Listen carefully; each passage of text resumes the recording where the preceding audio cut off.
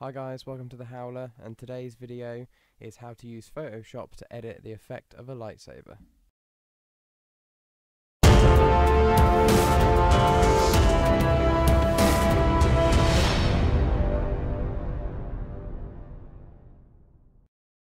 Okay guys, this is uh, a pretty cool one. So here I've got an image of uh, a Lego Kylo Ren from the new Star Wars films and he's holding his lightsaber up in sort of an action as if he was kind of blocking something.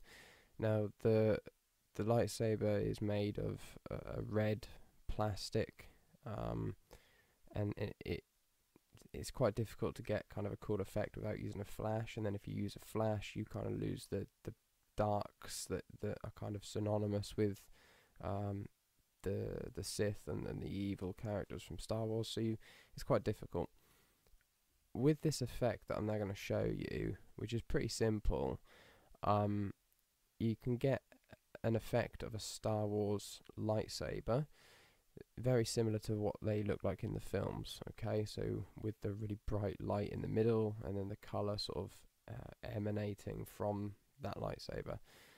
You can do it for any color. Um, some are easier than others.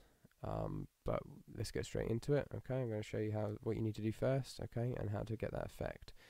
Um, so the first thing that you want to do, step number one, make sure that you go down to the color settings and you want to switch your foreground and your background color. Alright, so you want the background color to be black and the foreground color to be white. It's really important that you do that, if not, it's not going to work. Next, what you need to do is create a new layer. Okay, just a brand new layer um, you want your original image on the bottom. Then while you've got your new layer selected you want to go to the line tool okay and you want to set the width to the same width as the prop that you're trying to turn into a lightsaber okay? So for this example it's about a centimeter wide. And then draw the line across the prop. Right so you want to cover that prop with a white line same thickness same length everything okay then what you do is you go to that layer with the shape on that you've just drawn and you duplicate it or you copy it three times. So you should end up with four uh, layers with a shape on it and then your original image at the bottom. What you're then going to do is you're going to go to your filter settings and you're going to go to blur and you're going to go to Gaussian blur. Okay. You want to set the radius to the same number of pixels as is the width of your line.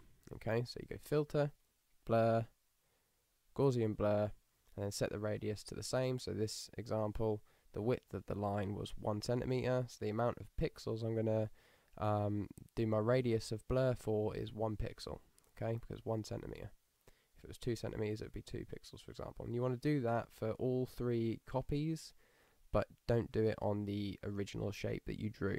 Okay, so you use Gaussian blur on three copies, but not on the original shape. Alright. Uh, the, the next step that you're going to do is you're going to go to one of your copies and you're going to go to layer, layer style, style settings. And you need to choose glow and you want to go for an inner glow and an outer glow.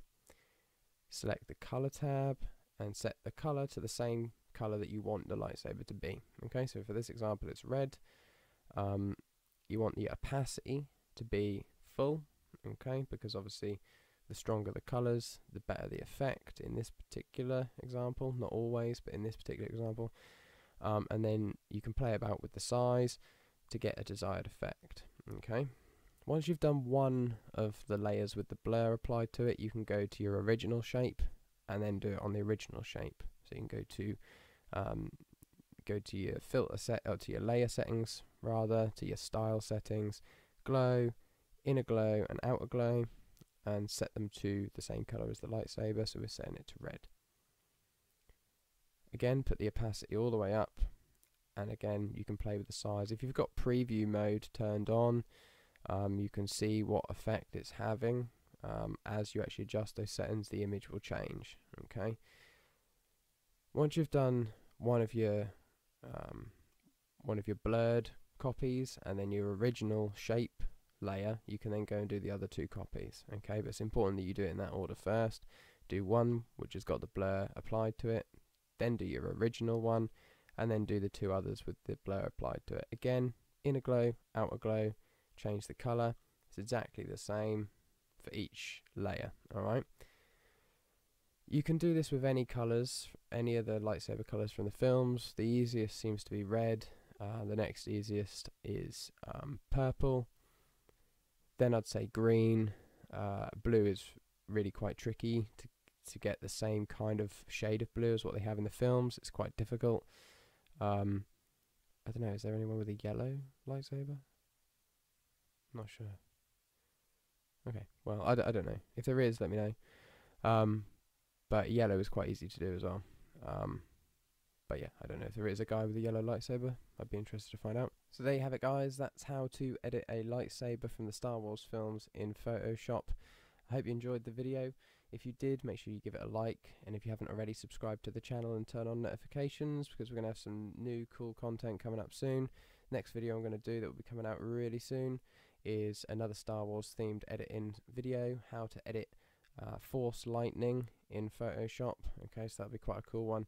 Uh, so thanks very much for watching, guys, and see you again soon.